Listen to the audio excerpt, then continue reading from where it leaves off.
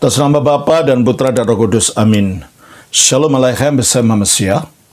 Selamat bertemu kembali saudara dengan saya sore hari ini. Kita akan lanjutkan pelajaran kita Bible Study. Dan ini adalah tanggal 19. Kita masih membahas tentang wahyu khusus. Kalau kemarin telah kita pelajari tentang janji Allah. Awalnya kita pelajari tentang uh, proto evangelion yang ada di dalam kejadian pasal 1. Lalu kita belajar tentang janji Allah kepada uh, apa wahyu khusus waktu zamannya dari Kain Habil dan Nuh Lalu kemarin kita belajar tentang Nabi Henoch dan tentang Abraham, Ishak dan Yakub, janji tentang keturunan pada Abraham, Ishak dan Yakub.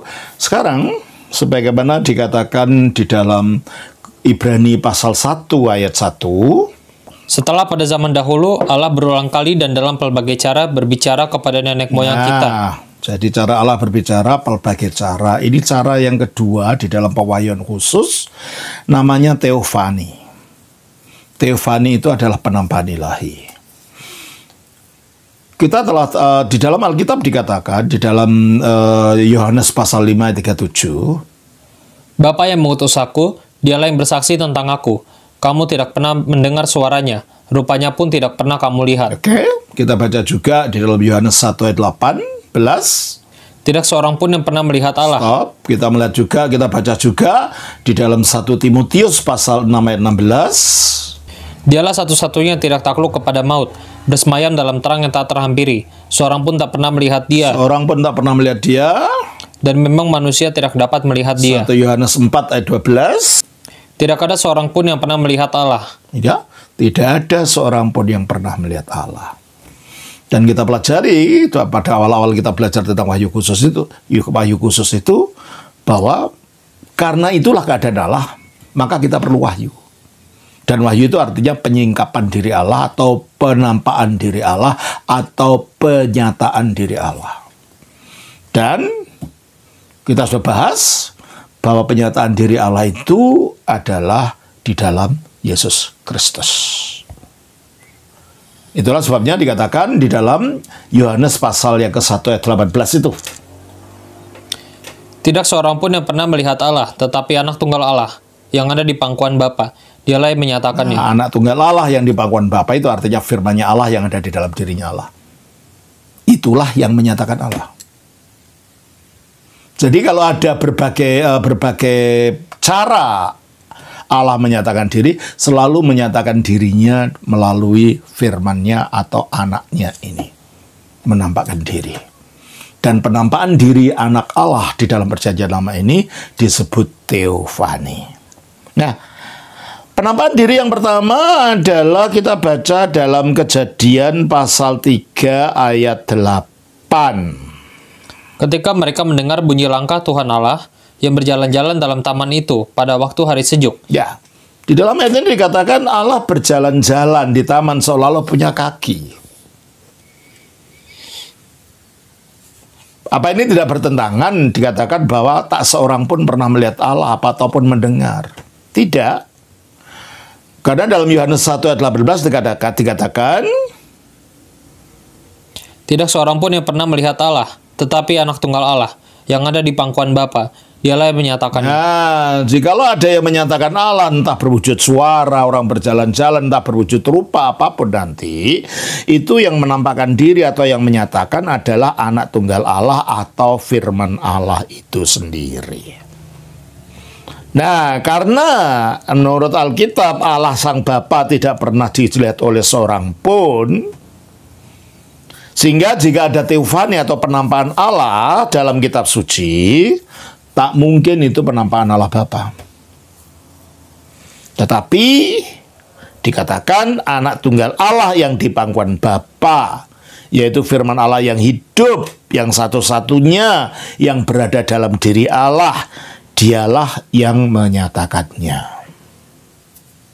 Maka dapat disimpulkan bahwa semua penampakan ilahi atau teofani dalam perjanjian lama adalah penampakan dari anak tunggal Allah atau firman Allah yang hidup ini yang ketika menampakkan diri dalam wujud inkarnasi secara, secara konkret dan permanen memiliki tubuh jasmani bernama Yesus Kristus.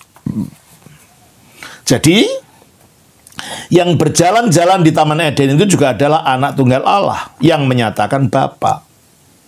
Dengan demikian, Allah Sang Bapa yang roh itu tetap tak dapat dilihat oleh manusia, tetapi ia menyatakan dirinya melalui firman-Nya sendiri yang secara kekal berada di dalam dirinya dan keluar dari dirinya tanpa terpisah dari kesatuannya dengan Bapa.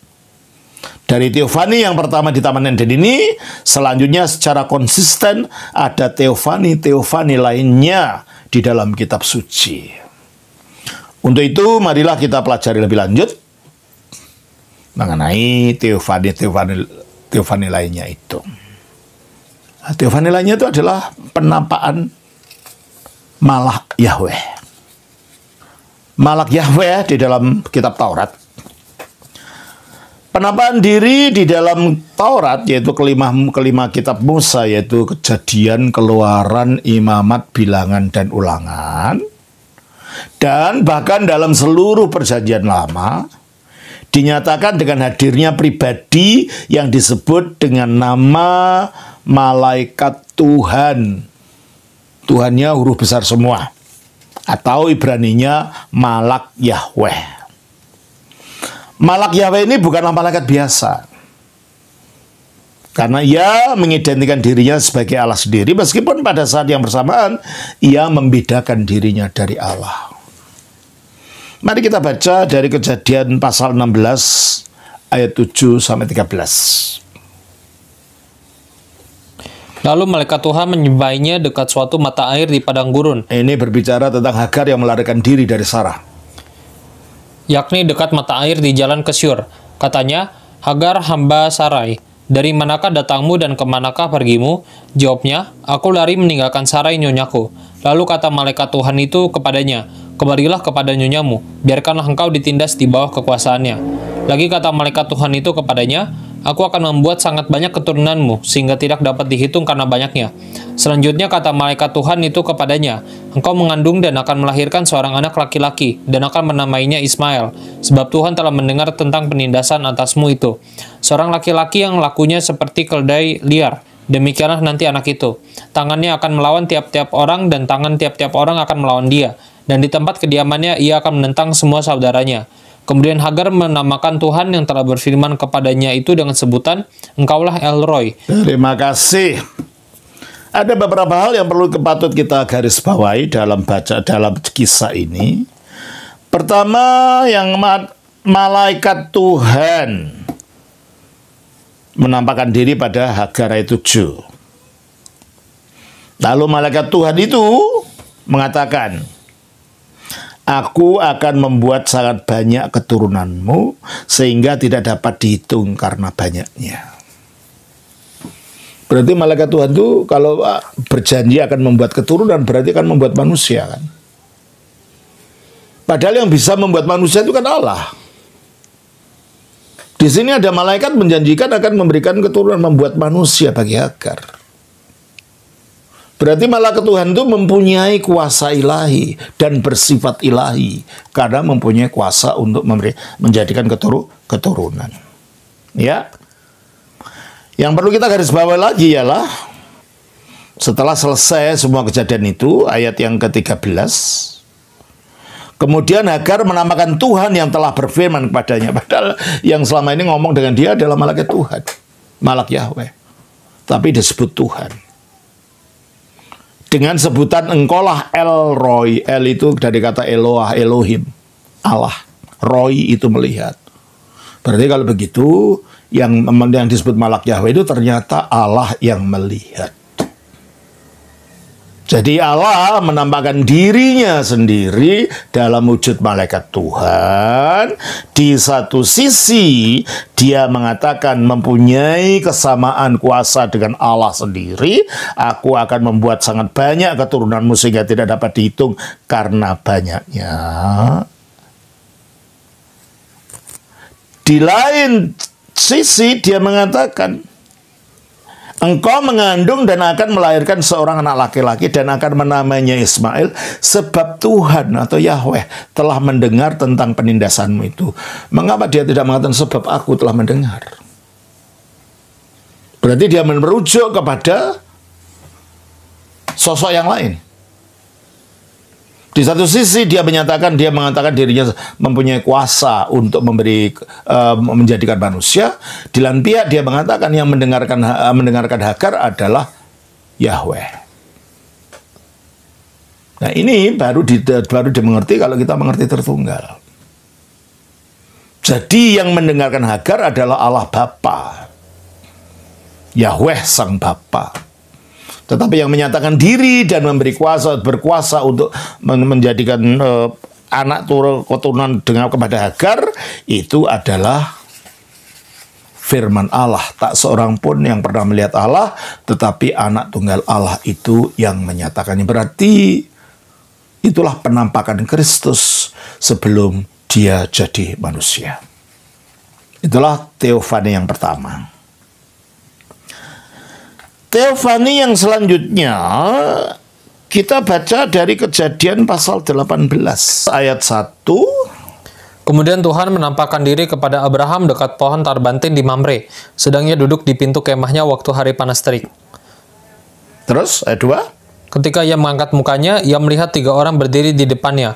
Sesudah dilihatnya mereka, ia berlari dari pintu kemahnya menyongsong mereka, lalu sujudlah ia sampai ya, ke tanah. Dalam gereja ortodoks, dua ayat ini diambil sebagai landasan untuk membuat ikon Tritunggal dalam bentuk tiga malaikat. Ya, sebagai simbol saja. Tapi kalau kita lihat teksnya, ini bukan bukan Tritunggal, saudara, karena ini yang datang ini ternyata dikatakan di dalam ayat 16 Lalu berangkatlah orang-orang itu dari situ dan memandang ke arah Sodom. Dan Abraham berjalan bersama-sama dengan mereka untuk mengantarkan mereka. Jadi tiga orang itu berjalan dengan Abraham. Lalu ayat 19. Sebab aku telah memilih dia, supaya diperintahkannya kepada anak-anaknya dan kepada keturunannya, supaya tetap hidup menurut jalan yang ditunjukkan Tuhan, dengan melakukan kebenaran dan keadilan. Ayat 20. Sesudah itu berfirmanlah Tuhan, Sesungguhnya banyak keluh kesah orang tentang Sodom dan Gomora, dan sesungguhnya sangat berat dosanya. Terus kan? Baiklah aku turun untuk melihat, apakah benar-benar mereka telah berkelakuan seperti keluh kesah orang yang telah sampai kepada Jadi ada tujuan daripada ketiga utusan ini, ketika, ketika orang ini datang kepada Abraham. Pertama untuk memberitahu tentang kelahiran anaknya. Kedua, memberitahu tentang akan dihukumnya Sodom dan Gomora ya, di mana Lut tinggal. Nah, di situ dikatakan selanjutnya ayat yang ke-22 Lalu berpalinglah orang-orang ini itu dari situ dan berjalan ke Sodom. Tetapi Abraham masih tetap berdiri di hadapan Tuhan. Jadi ada orang yang ke Sodom, ada satu orang yang di hadapannya Abraham tetap berdiri. Itulah disebut Tuhan sendiri. Dan yang ke Sodom ternyata dijelaskan dalam kejadian 19 ayat 1. Kedua malaikat itu tiba di Sodom pada waktu petang. Lot sedang duduk di pintu gerbang Sodom dan ketika melihat mereka, bangunlah ia menyongsong mereka, lalu sujud dengan mukanya sampai ke tanah. Jadi ternyata yang datang ke Sodom itu dua malaikat, berarti dua orang yang bersama yang menampakkan diri sebagai tiga orang kepada Abraham itu duanya malaikat, satunya adalah Tuhan sendiri dan ini adalah teofani. Allah menampakkan diri sebagai bentuk manusia. Dan Kristus meneguhkan ini bahwa Abraham pernah bertemu dengan dirinya di dalam Yohanes pasal 8 ayat 56. Abraham bapamu bersuka cita bahwa ia akan melihat hariku dan ia telah melihatnya dan ia bersuka cita. Ya. Jadi Yesus mengatakan Abraham pernah melihat harinya Yesus dan kapan? Ya ini. Yesus ketika masih belum berwujud manusia, tapi menampakkan diri dalam wujud manusia. Inilah teofani itu. Dan Yesus sendiri mengatakan ayat 58, Kata Yesus kepada mereka, Aku berkata kepadamu, sesungguhnya sebelum Abraham jadi, aku telah ada. Prin Avram geneste ego eimi. Sebelum Abraham jadi, aku adalah aku. Dan aku adalah aku adalah nama penampakan malak Yahweh kepada Musa di dalam keluaran pasal 3 ayat yang ke-13-14. Jadi kalau begitu kita melihat bahwa di kepada Abraham ini malak Yahweh menampakkan diri dalam wujud manusia. Tapi bukan itu saja, dua kali dia menampakkan kepada Abraham dalam wujud manusia. Yang satu pada waktu dia pamer ini dengan wujud tiga orang orang, yang satu lagi dalam wujud Melkisedek. Kita baca di dalam kejadian pasalnya yang ke-14 ayat 18 sampai 21. Melkisedek Raja Salem membawa roti dan anggur. Ia seorang imam Allah yang maha tinggi. Lalu ia memberkati Abram katanya, Diberkatilah kiranya Abram oleh Allah yang maha tinggi, pencipta langit dan bumi. Dan terpujilah Allah yang maha tinggi, yang telah menyerahkan musuhmu ke tanganmu. Terima kasih. Melkisedek Raja Salem membawa roti dan anggur. Ia seorang imam Allah yang maha tinggi. Perhatikan, perhatikan agak aneh. Kalau imam, imamnya Israel yang dibawa adalah binatang. Domba, kambing, sapi. Tapi ini yang dibawa adalah roti dan anggur. Memperingatkan siapa ini? Memperingatkan Kristus.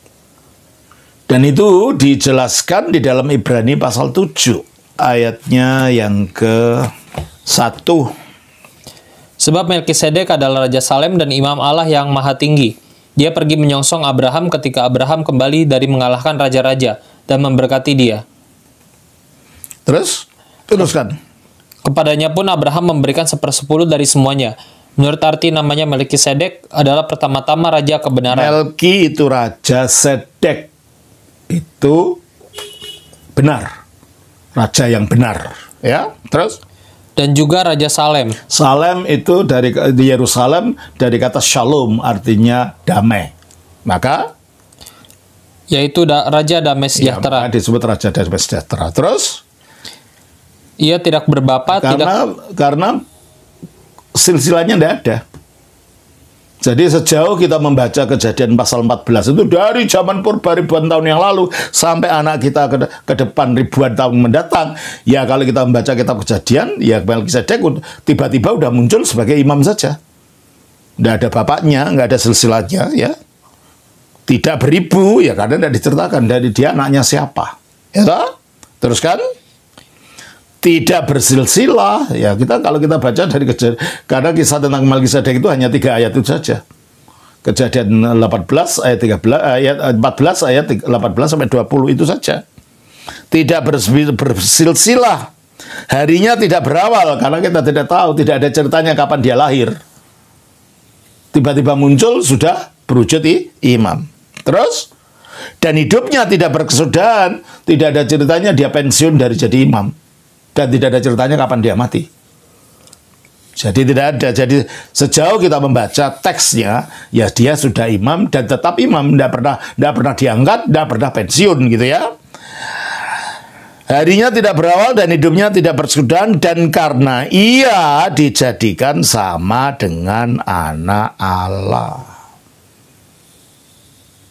Jadi dia ini adalah dianggap sebagai penampakan dari anak Allah itu sendiri, penampakan dari Kristus.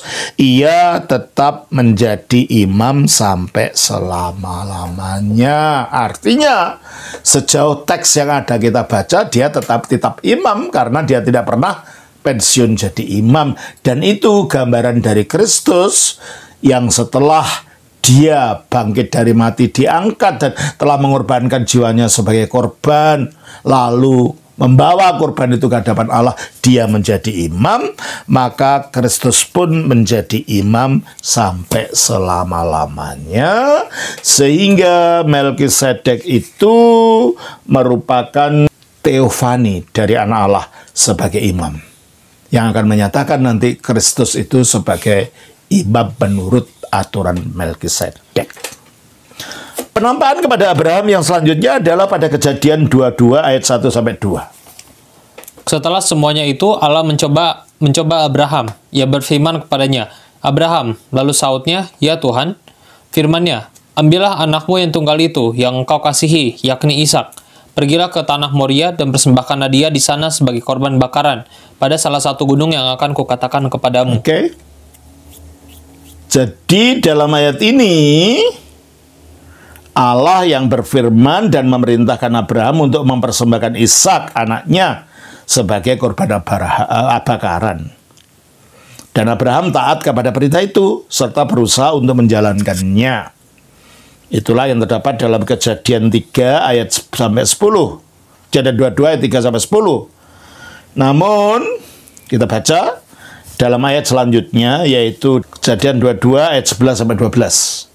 Tetapi berserulah malaikat Tuhan dari langit. Coba perhatikan ada malaikat Tuhan, ada malak Yahweh di sini. Terus? Tetapi berserulah malaikat Tuhan dari langit kepadanya, Abraham, Abraham. Sahutnya, ya Tuhan. Lalu ia berfirman, jangan bunuh anak itu dan jangan kau apa-apakan dia. Sebab telah kau ketahui sekarang bahwa engkau takut akan Allah. Dan engkau tidak segan-segan untuk menyerahkan anakmu yang tunggal kepadaku. Terima kasih. Dalam ayat 1 dan 2 di atas, yang memerintahkan Abraham untuk menyembelih Ishak adalah Allah. Namun dalam ayat 11 12 kita temukan bahwa malak Yahweh atau malaikat Tuhan mengatakan kepada Abraham bahwa engkau tidak segan-segan untuk menyerahkan anakmu yang tunggal kepadaku. Berarti dia menyamakan dirinya dengan Allah yang di ayat 1 ini menunjukkan bahwa Malak Yahweh mengidentikan dirinya dengan Allah yang memerintahkan Abraham untuk mempersembahkan anaknya. Karena Allah yang memerintahkan Abraham untuk mempersembahkan anaknya yang tunggal, tetapi Malak Yahweh lah yang mengatakan bahwa penyerahan Allah Abraham itu adalah kepadaku, yaitu kepada Malak Yahweh. Jadi Malak Yahweh menyatakan dirinya sebagai Allah yang berfirman sebelumnya kepada Abraham. Malah Yahweh itu menyatakan dirinya ilahi. Namun di pihak lain Malak Yahweh juga mengatakan di dalam ayat yang ke 12 itu Lalu ia berfirman, jangan bunuh anak itu dan jangan kau apa-apakan dia. Sebab telah kau ketahui sekarang bahwa engkau takut akan Allah. Kenapa dia tidak mengatakan engkau takut akan aku? Di sini dia membedakan dirinya dengan Allah. Di satu pihak dia menyamakan dirinya dengan Allah. Ketika dia mengatakan kau mempersembahkan kepadaku, tapi di sini dia membedakan dirinya dari Allah karena dia mengatakan engkau takut dengan Allah. Jadi Malak Yahweh membedakan dirinya dari Allah. Ia tak mengatakan engkau takut akan aku, melainkan engkau takut dengan Allah. Kisah ini berlanjut. Demikian. Kita baca kejadian 22 ayat 15 sampai 17. Untuk kedua kalinya berserulah malaikat Tuhan dari langit kepada Abraham. Katanya, Aku bersumpah demi diriku sendiri, demikianlah firman Tuhan. Karena engkau telah berbuat demikian, dan engkau tidak segan-segan untuk menyerahkan anakmu yang tunggal kepadaku. Maka aku akan memberkati engkau berlimpah-limpah dan membuat keturunanmu sangat banyak okay. seperti bintang di langit. Dalam pasal ini kita melihat bahwa perkataan Malak Yahweh identik dengan firman Tuhan sendiri dan isinya adalah satu dan sama.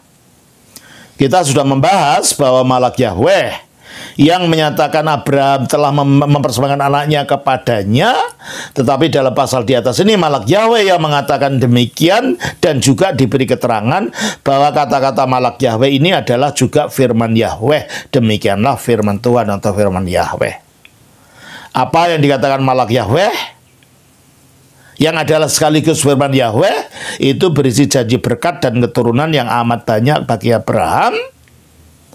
Memberkati dan membuat keturunan, keturunan adalah kuasa Allah saja. Namun hal itu dikatakan oleh Malak Yahweh yang sekaligus firman Yahweh. Coba Yohanes 14 ayat 10. Tidak percayakah engkau bahwa aku di dalam Bapa dan Bapa di dalam aku? Apa yang aku katakan kepadamu tidak aku katakan dari diriku sendiri, tetapi Bapa yang diam di dalam aku. Oke. Perkataan, perkataan Yesus adalah perkataan Bapa dengan demikian dalam hal malak Yahweh karena perkataannya adalah firman Yahweh maka malak Yahweh ini memiliki satu kehendak dengan Yahweh juga memiliki satu kuasa dan rencana dengan Yahweh kehendak Yahweh itulah kehendak malak Yahweh rencana Yahweh itulah rencana malak Yahweh Kuasa Yahweh itulah uh, kuasa malak Yahweh dan persembahan kepada Yahweh kepada malak Yahweh itulah persembahan kepada Yahweh. Hal ini mengingatkan kita akan perkataan Kristus dalam Yohanes 5 ayat 19. Maka Yesus menjawab mereka katanya, Aku berkata kepadamu, sesungguhnya anak tidak dapat mengerjakan sesuatu dari dirinya sendiri. Jikalau tidak, ia melihat Bapa mengerjakannya. Sebab apa yang dikerjakan Bapa itu juga yang dikerjakan anak. Oke. Okay. Apa yang dikerjakan Bapa itu yang dikerjakan anak, apa yang dikerjakan Yahweh itulah yang dikerjakan oleh malak Yahweh. Jadi malak Yahweh ini tak lain adalah anak Allah sebelum jadi manusia. Ya. Ini menunjukkan karya anak adalah identik dengan karya Bapa, sama seperti karya Malak Yahweh adalah identik dengan karya Yahweh. Sebagaimana dikatakan Kristus dalam Yohanes 5:21. Sebab sama seperti Bapa membangkitkan orang-orang mati dan menghidupkannya, demikian juga anak menghidupkan barang siapa yang dikehendakinya. Ini menunjukkan bahwa kuasa anak bahwa anak itu mempunyai kuasa ilahi dan ilahi adanya. Karena ia dapat membangkitkan orang mati seperti kuasa malak Yahweh untuk memberikan keturunan adalah sama dengan kuasa Yahweh sendiri dan dengan memberikan keturunan memberikan keturunan menunjukkan malak Yahweh memiliki kuasa ilahi dan ilahi adanya. Yohanes 5 ayat 23 supaya semua orang menghormati anak sama seperti mereka menghormati Bapa. Barang siapa tidak menghormati anak, ia juga tidak menghormati Bapa yang mengutus aku. Ya. Jadi memberi hormat kepada anak-anak identik dengan menghormati Bapa dan tidak memberi hormat kepada anak juga identik dengan tidak menghormati Bapa sama seperti mempersembahkan Isa kepada Malak Yahweh identik dengan mempersembahkannya kepada Yahweh. Jadi hormat Malak Yahweh dan Yahweh itu sendiri adalah identik dan satu. Yohanes 5 ayat 26. Sebab sama seperti Bapa mempunyai hidup dalam dirinya sendiri, demikian juga diberikannya anak mempunyai hidup dalam dirinya sendiri. Hidupnya Bapa berada di dalam anak, berarti Bapa dan anak mempunyai kehidupan ilahi yang identik dan satu. Demikianlah halnya Malak Yahweh dan Yahweh memiliki satu kehidupan karena Malak Yahweh yang melihat yang menunjukkan bahwa ia hidup dikatakan sebagai Allah yang melihat. Kita baca dalam Yohanes 5 ayat 30. Aku tidak dapat berbuat apa-apa dari diriku sendiri. Aku menghakimi sesuai dengan apa yang aku dengar dan penghakimanku adil. Kehendak anak adalah kehendak anak-anak adalah satu dan identik dengan kehendak Bapa. Dengan demikian rencana anak itulah rencana Bapa. Sama seperti rencana Malak Yahweh adalah juga rencana Yahweh sendiri, yaitu rencana untuk memberkati dan membuat keturunan Ibra Abraham jadi banyak. Dengan demikian, kehendak Malak Yahweh adalah satu dan identik dengan kehendak Yahweh. Dengan membuat paralel antara anak dan bapa dengan Malak Yahweh dan Yahweh ini, kita mulai dapat menduga siapa sebenarnya sosok misterius yang disebut sebagai Malak Yahweh ini untuk mengukuhkan landasan kita sebaliknya sebaiknya mari kita lanjutkan penyelidikan kita yaitu Teofani kepada Yakob anaknya atau cucunya Abraham.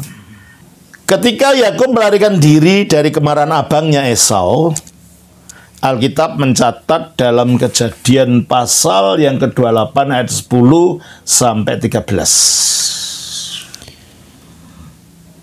Maka Yakub berangkat dari Beersheba dan pergi ke Haran. Ia sampai di suatu tempat dan bermalam di situ karena matahari telah terbenam. Ia mengambil sebuah batu yang terletak di tempat itu dan dipakainya sebagai alas kepala, lalu membandingkan dirinya di tempat itu. Maka bermimpilah ia, Di bumi ada didirikan sebuah tangga yang ujungnya sampai di langit, dan tampaklah malaikat-malaikat Allah turun naik di tangga itu. Berdirilah Tuhan di sampingnya dan berfirman, Akulah Tuhan, Allah Abraham, nenekmu, dan Allah Ishak. Tanah tempat engkau berbaring ini akan kuberikan kepadamu dan kepada keturunanmu. Kita lanjutkan dengan pasal 28 ayat 16-19. Ketika Yakub bangun dari tidurnya, berkatalah ia, Sesungguhnya Tuhan ada di tempat ini, dan aku tidak mengetahuinya. Ia takut dan berkata, Alangkah dahsyatnya tempat ini. Ini tidak lain dari rumah Allah. Ini pintu gerbang surga. Keesokan harinya pagi-pagi Yakub mengambil batu yang dipakainya sebagai alas kepala dan mendirikan itu menjadi tugu dan menuang minyak ke atasnya. Terus? Ia menamai tempat itu Betel. Dahulu nama kota itu Luz. Ya. Pasal ini menjelaskan kepada kita tentang pertemuan Yakub dengan Yahweh di Betel dalam mimpi. Dan Yahweh yang di Betel ini menyatakan diri sebagai Allah Abraham dan Allah Ishak. Jadi memang Allah dari bapa leluhur dialah yang menampakkan diri kepada Yakub. Selanjutnya mari kita bandingkan peristiwa ini ya peristiwa di Betel ini maksudnya dengan pengalaman kehidupan, kehidupan selanjutnya ketika Yakub telah berumah tangga. Kita baca dalam kejadian 31 ayat 11 sampai 13. Dan malaikat Allah berfirman kepadaku dalam mimpi itu. Ini kata Yakub pada istri-istrinya. Yakub, jawabku, ya Tuhan. Lalu ia berfirman, angkatlah mukamu dan lihatlah bahwa segala jantan yang menjantani kambing domba itu bercoreng-coreng, berbintik-bintik dan berbelang-belang. Sebab telah kulihat semua yang dilakukan oleh Laban itu kepadamu. Akulah Allah yang di Betel itu. Ya. Dalam pengalaman Yakub mengenai penampakan Allah yang selanjutnya ini dinyatakan bahwa malaikat Allah yang berfirman pada Yakub dalam mimpi. Dan malaikat Allah itu menyatakan dirinya sebagai Allah yang di Betel. Berarti Yahweh yang menampakkan diri di Betel itu tak lain adalah malaikat Allah yang sama ini. Demikianlah kita mendapat data yang makin mengukuhkan bahwa malaikat Allah atau malak Yahweh ini memang Allah dari Abraham, Ishak serta Yakub dan juga Hagar. Ini bukan malaikat biasa, melainkan penampakan yang ilahi itu sendiri, penampakan dari anak tunggal Allah yang menyatakan Bapa yang tidak kelihatan itu. Nah, sekarang penampakan kepada Musa. Bukan hanya di situ saja penampakan ini terjadi. Bahkan kepada Musa pun hal yang sama terjadi. Keluaran 3, 2 sampai 6. Lalu malaikat Tuhan menampakkan diri kepadanya di dalam nyala api yang keluar dari semak duri. Lalu ia melihat dan tampaklah semak duri itu menyala, tetapi tidak dimakan api. Musa berkata, Baiklah aku menyimpang ke sana untuk memeriksa penglihatan yang hebat itu.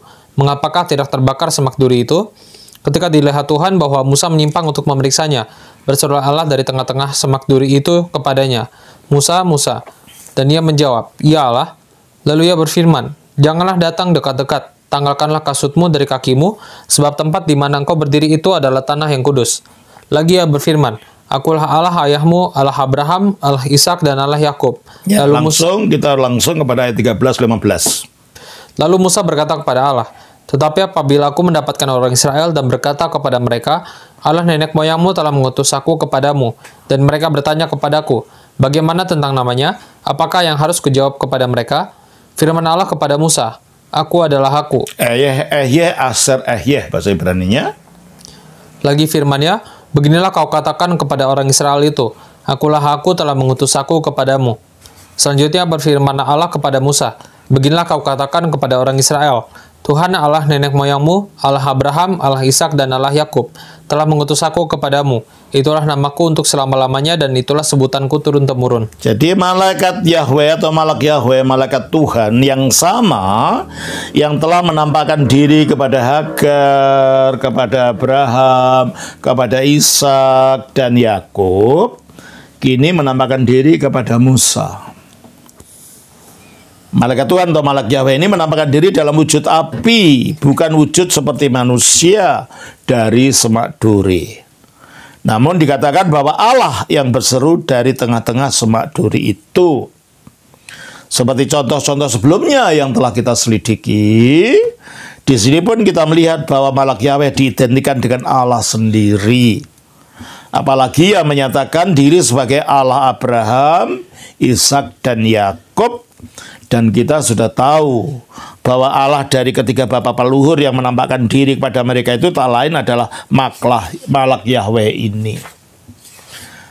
Selama penampakannya kepada para leluhur itu, Malak Yahweh tidak menyatakan tentang namanya.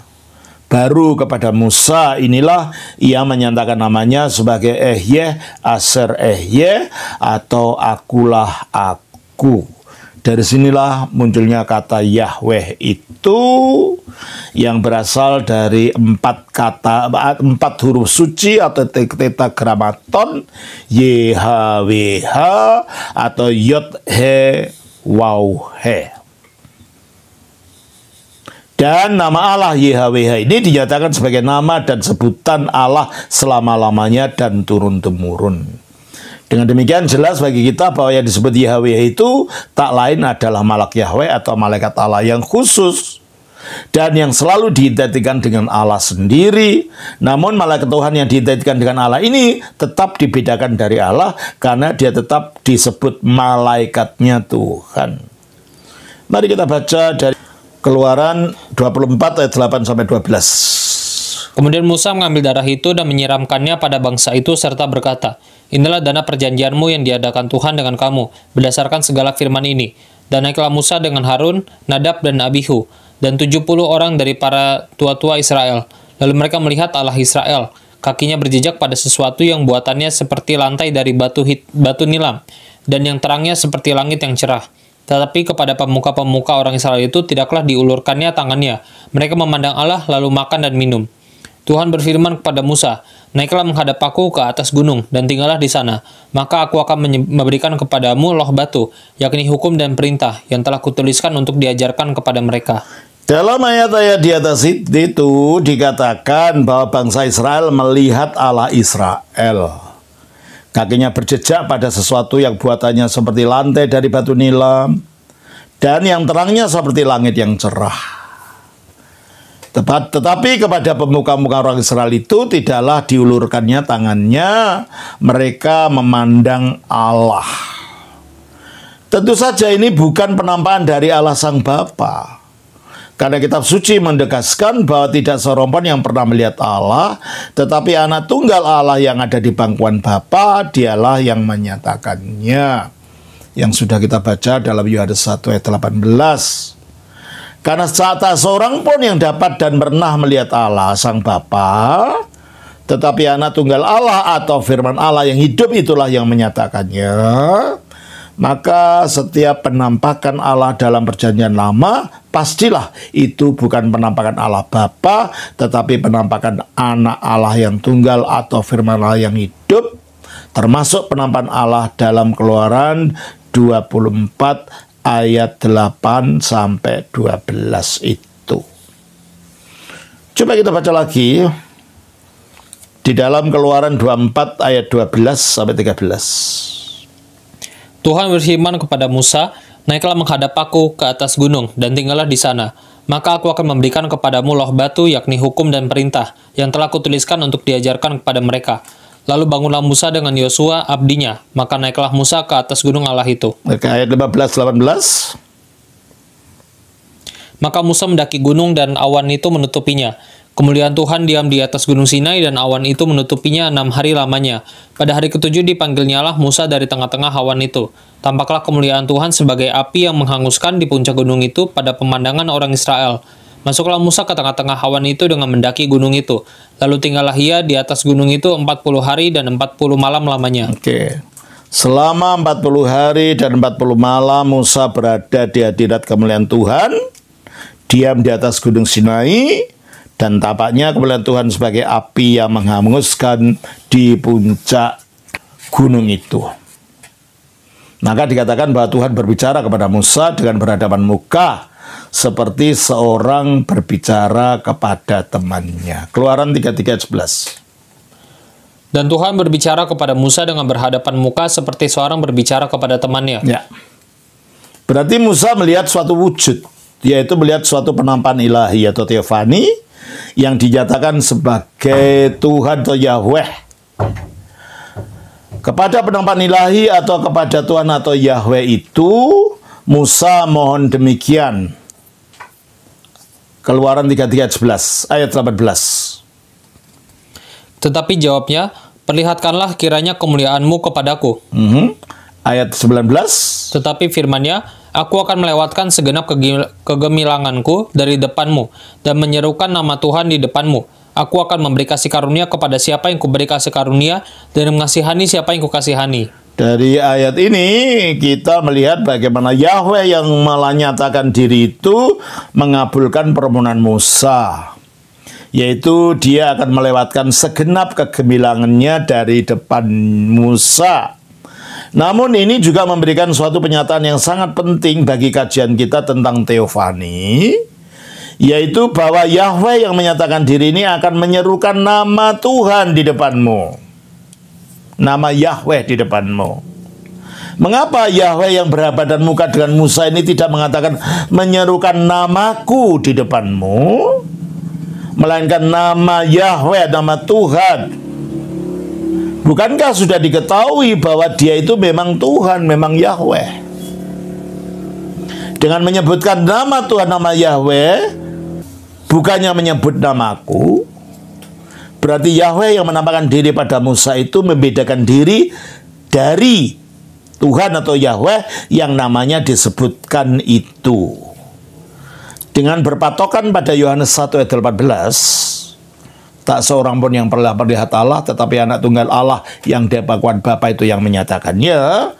Maka dapat kita simpulkan bahwa Yahweh yang menyatakan diri kepada Musa adalah anak tunggal Allah atau firman Allah yang hidup itu. Sedangkan Yahweh yang tak nampak tetapi yang namanya disebutkan itulah Sang Bapa Allah yang Esa itu.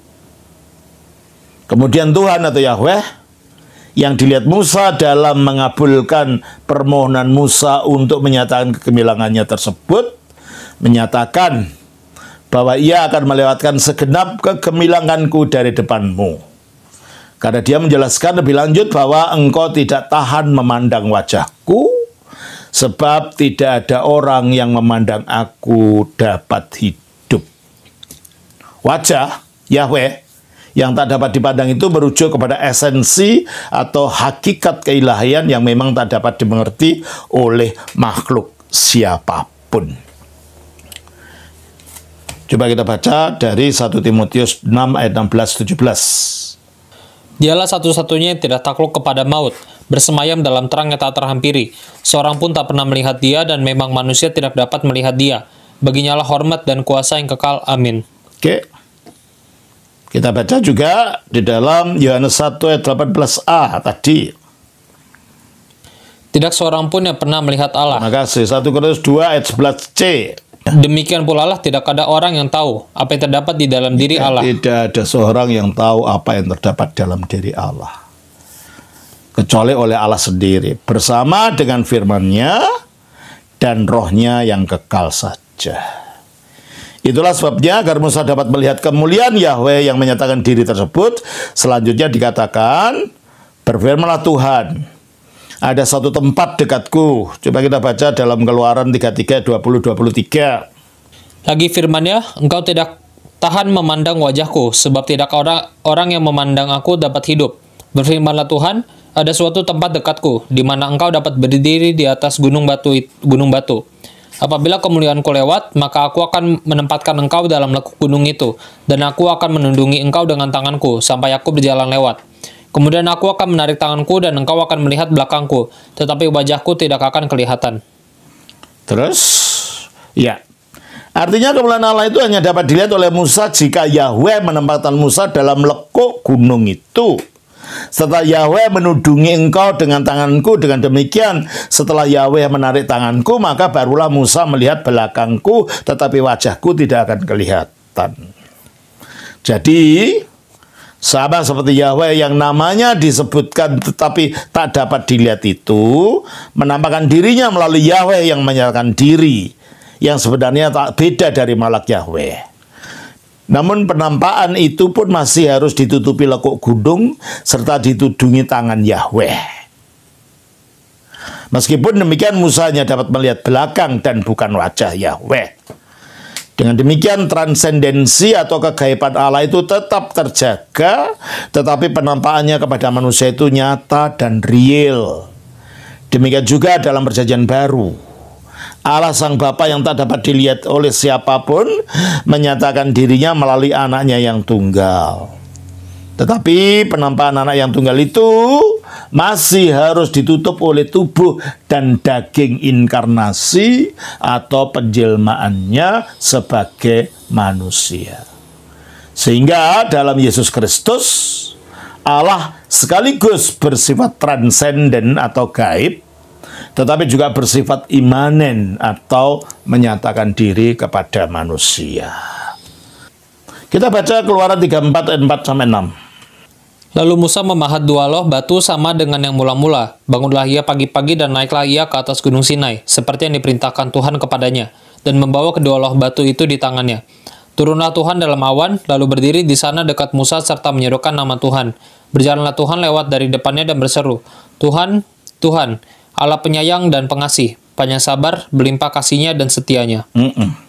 Ayat-ayat ini menjelaskan bahwa setelah Musa naik ke Gunung Sinai pagi-pagi, maka turunlah Tuhan dalam awan dan berdiri di sana dekat Musa serta menyerukan nama Tuhan.